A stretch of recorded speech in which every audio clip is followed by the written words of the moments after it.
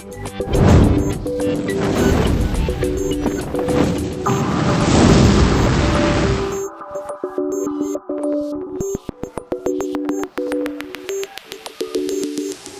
I'm Eddie O'Coin with Data Tech. Today we have Bob Worley from Utopic Software with us. Bob, thanks for being with us. Thanks for having me, Eddie. Bob's here to talk a little bit about the shadow repair self-healing system that Data Tech will be offering, powered by Persystent Suite. Bob, can you tell us a little bit about this new offering? Yeah, so um, uh, shadow repair and the self-healing capability of shadow repair is really an innovative technology that um, you know we've been working with with Persystent Suite for the last 13 years. And so customers are going to have a better experience going forward.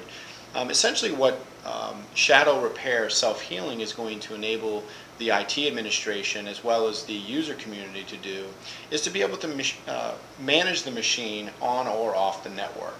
So in case of a security threat or a misconfiguration or an unauthorized change to the system, uh, shadow repair, self-healing, is going to self-heal that system and bring that system back to that known good state. Mm-hmm. So it sounds like one of the things that makes shadow repair different is the proactivity, as opposed to waiting for something to go wrong, going there and fixing it. Shadow repair kind of jumps into jumps into action by itself, doesn't it? Yeah, the the old technologies or things that um, you know uh, the blue button, for instance, or uh, technologies that, that uh, tried to recover the system, they really did it um, with a, a, healthy operating system. And as we all know, mm-hmm. ransomware, Security Shield, PC Optimizer, these types of attacks, these forms of malware, render the system useless. And essentially what happens is the operating system won't even boot in some cases, mm-hmm. or the user's locked out of their own system. So in the case of, of shadow repair, self-healing, the BIOS will load and then pre-boot of the operating system will ensure that that operating system loads. Traditional software don't allow you to do um, that level of capability uh, pre-boot of the operating system. Now I bet that that cuts down on help desk calls quite a bit. You know, the break fix maintenance days are over. And organizations that um, continue with this approach will have, you know, four to five IT professionals per 10 machines. Mm-hmm. And the break fix maintenance model is really not a profitable model for no, I, uh, for data tech nor for the customers. Sure. Business interruption and business downtime is costing more every day we go by, every day that goes by. Mm-hmm. So when we look at the ability to self heal the system with shadow repair, the, the customers are going to be taking on technology that's innovative, technology that's been around for 13 years, but have the capabilities uh, to, uh, in, in near real time, recover the system. Sure. Now, I just want to read you a quote from Kevin Kors. He's our Chief Technical Officer here at DataTech, and ask you to maybe expand on this a little bit. Sure. He says, Shadow Repair enables self-healing above and beyond a simple Windows system restore by, by allowing for multiple levels of repair with each level offering additional layers of granularity. Could you expand on that a little bit? You know, it, it, it gets back to that competitive differentiator that uh, DataTech shadow repair self-healing will have. The ability for a system pre-boot the operating system to recover itself. The ability for a system on or off the network, or not even logged into the domain for that matter, to be able to recover that system from any kind of threat, any kind of file change, any kind of registry change, services change, process change what shadow repair self-healing will enable you to do, it'll make it'll allow you to manage the state of that user's machine on or off the network. So I, I agree with uh, Kevin, and I believe that uh, there's more to come with the technology as well. Sure. Well, a number of our clients here at Data Tech have to be concerned with government compliance, whether that be PCI, HIPAA. Now, does shadow repair help on that end? Does that help alleviate some of those concerns? Well, you know, a lot about compliance is how much money do you want to spend to minimize what level of risk? Mm-hmm. And so, what we see in the industry from a banking, financial services, insurance, and government uh, perspective, as well as healthcare, if you think about HITRUST and the number of breaches that have occurred with um, social security numbers and credit cards being you know put into the wild what we see is the first thing you have to do is get back to the basic blocking and tackling of IT and you have to manage to a set of standards it's often easier said than done when we look at in, uh, compliance in general, the key within compliance, whether it's PCI, Sarbanes-Oxley, HIPAA, HITRUST, if you will, it's the ability to manage the standards, but enforce those standards, whether the system's on or off the network. Mm-hmm. So having that ability to, again, with shadow repair self-healing, you'll be able to enforce those desired standards, those desired configurations, whether the system's on or off the network. So that'll ensure compliance for that end user, also for the business. And what about reporting? Uh, reporting is a, a key aspect in, in compliance as well. And, and uh, from what I read, shadow repair does quite a bit on that end as well. So shadow repair self-healing enterprise reporting is very, very extensive. It's very granular. You can get to the point where you could you can start tracking bit level, file level um, changes in the organization. So you can actually look at a process, a registry, a service, or even a, a major file or application and actually detect exactly what changed on the system.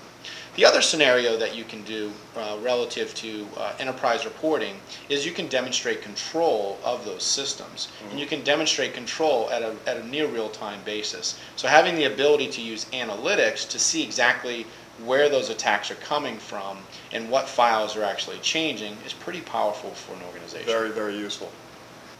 So Bob, where are the major industries where your customers are coming from? Come Yeah. from, from uh, all over the spectrum, or is there certain industries that you hone in on? You know, great question. I mean, as, we look at um, IT spend, it's not as though IT spend is actually increasing. Uh, we're seeing a lot of, um, you know, do more with less. And uh, the industries that are really affected by that we see as, as state and local government, education, healthcare. So in those cases where the resources are very, va- you know, um, very limited, um, those resources need to kind of, again, do more with less. So having the self-healing capabilities of shadow repair are going to provide them the opportunity to focus on the business at hand as opposed to the break fix maintenance of a PC. Sure. The other industries, such as insurance, financial services, um, and, and specialty type services, uh, banking, et cetera, those organizations have critical systems that need to always have that you know, five nine availability. So the five nine availability plays into this, where the system again takes that self-healing approach to do corrective action. And that corrective action could be a, a, as, as simple as, um, hey, we have to recover this system because it's a stock trade, and that stock trade has to clear our systems before we can actually execute that trade.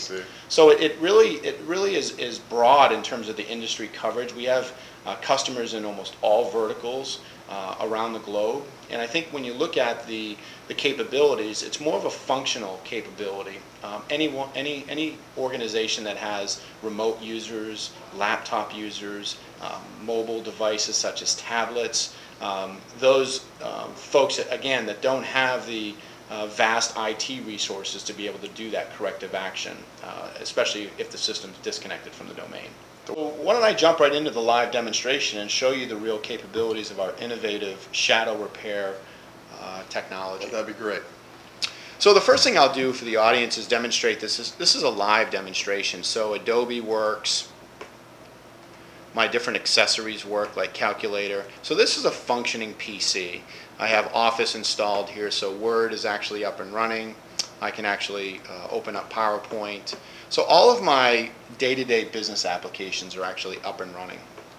And so now what I'll do is I'll, I'll demonstrate uh, a catastrophic failure using uh, the capabilities of, of, you know, the many different uh, security threats that we have out there. And, and this is just one form of that security threat. Can you, um, So as I mentioned, uh, Eddie, what we'll do is we'll, we'll infect the system with Security Shield, which is a form of malware. So essentially what Security Shield is doing is the user is, is taking matters into their own hand. They've, they've actually looked at their machine and they've, they've actually gone through the scenario that their applications are actually loading very slow. Well, the performance of their system is actually uh, performing uh, below their, their normal standards. So they believe that there's some, some level of challenges in the system. So if the users have administrative credentials, then they can in fact um, download these kinds of uh, wonderful toys. If they don't have admin credentials, Security Shield is one of those uh, forms of malware that actually the user, all, all the user has to do is click on um, a, an attachment or click on an email um, that might infect their system. Or if they're surfing the web, just putting their, their uh, mouse over an icon could actually infect the system I think well. a lot of people don't realize how easy it is to to have your system infected. I mean, we're wide open, right? I mean, at the end of the day, um, as you as you mentioned earlier, 45% um, protection with antivirus software. So malware and, and, and these stuff. and these form of attacks are, are, are very very important to uh, defend against. So what we'll do is we'll just uh, kind of simulate this attack, and as you're going to see here really fast, is you're going to see catastrophic errors that are going to occur for that particular user. And so the system is, is, is essentially being infected. The user actually is saying to themselves, I have that aha moment. So now they're saying, hey, my system is going to perform so rapidly and, and, and with high performance that, you know, this is going to be like the first day that I actually um, downloaded certain business applications and I'm going to perform my daily routines. So the first thing they'll do is, um, you know, maybe they're going to calculate, uh, um, you know, a formula. Oh, geez, uh, you know, calculator doesn't work. So the accessories are starting to have uh, experience issues on the system. I can't even open up my PDF. So I'm, I'm experiencing some application-related uh, failures. Well, let's look at uh, Word, and as you can see, I can't even operate the Word functionality. What about PowerPoint? I need to work on my PowerPoint. So as you can see, uh, Eddie, none of the applications or accessories are actually responding. So the next thing that occurs is the user will try to log into the network and actually open up a trouble ticket. And as you can see here, the page is under attack, and this warning is now coming, uh, coming up in front of the user's experience. So from that perspective, the user has to now pick up the telephone and actually call the help desk. And typically what happens is the user is saying, hey, look, I didn't do anything to the network, I didn't do anything to the computer. All I, all I did is I tried to um, address some of the performance issues of my machine. And so with shadow repair, all we have to do, Eddie, is we have to restart the computer. And again, whether I'm on or off the network, I could be 30,000 feet in a plane, and the system will actually recover itself without any manual intervention. So the user, all the user has to do is actually hit an F9 key or one of the function keys or just power down the machine. Now, without Shadow, Shadow Repair installed, what would be the steps a user would have to take otherwise? So getting back to the telephone conversation, what would happen is the user would be on the phone, and from there, the user would, would have to, um, step by step, allow the uh, technician to remote into the box to be able to look at what files have actually changed. I'm sure you're aware that um, at least 100 to 100 to 200 files are typically impacted with any form of malware. So in that case, the user is going to be dead in the water, and the, and the actual technician's going to have to re-image their machine. And we all know how exciting re-imaging machines is. And we're looking at substantial downtime. The, Yeah. en- the enemy of any organization that's trying to make money. That's right. Downtime is, is the killer, and especially when the user is- going to have to receive a new PC, the user is going to lose all of their profiles, they're going to lose all of their settings. The machine is going to be brought back to a day zero state as opposed to with shadow repair, the system's going to be brought back to the last known state. So as you're seeing here, well, we're telling the user and we're telling IT some statistics, some log information of all the files that were impacted with that breach. And so this is a very good analytical tool to show the organization that this type of bad behavior or this type of attack on the system can be devastating.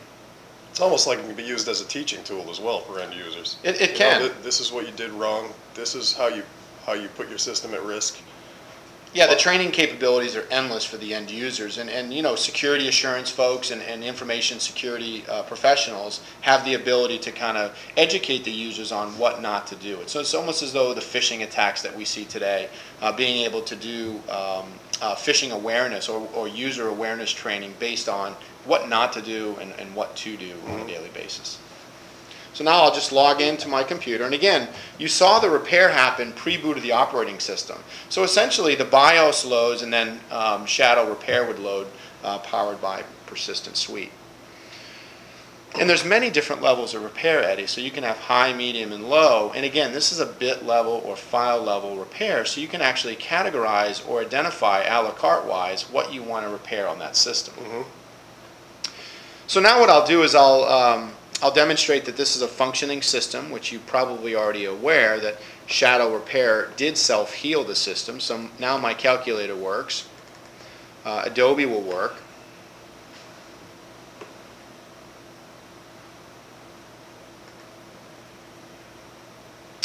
And all my functions of Office will work. So I can actually uh, open up my Word documents and I can conduct business the way I would normally do So basically, you infected your computer with a, with a pretty dangerous form of malware. And how long did it take, start to finish, to repair it? You know, Eddie, I didn't have a uh, stopwatch on me, but probably 35 to 45 seconds, the machine was back to that last known good state. And without without shadow repair installed, what do you Uh, think we're looking at? But like we talked about, all kinds of downtime. really. Yeah, we're talking about shipping new machines to that user. We're talking about uh, maybe two to three hours of uh, getting that user back to the last known state, making sure that all the patches are uh, up to date, making sure that the system's actually checking in uh, with the remote uh, as a remote employee. Um, in, in this case, you know, the user's back to surfing the web, and let's just hope, Eddie, that they don't actually make the same mistake and click on something that's uh, that's security related. So back to your point about educating the user and actually providing awareness, that's that's a good um, that's a good report for the users uh, or the technicians to actually share with the users. Is that um, that log report to be able to show them here are the things that were impacted. Please don't do that again. I mean, that's amazing. In a matter of about 35 to 45 seconds, we just eliminated how many headaches, how much downtime. Yep, it's the power of the innovative solution, and I think that, you know, with 12 years under our belt, 13 years under our belt now, uh, we've seen a dramatic reduction in costs uh, from, from an IT perspective, as well as those repeat cases now go away. That is something. Well, Data Tech is very excited to offer this to customers for sure, and I know our customers are going to be very, uh, very excited too. Great. Bob, thank you so much for Thank you, Eddie. for Thanks for showing having us how it worked. We really appreciate it. Thanks, Sounds Bob. good.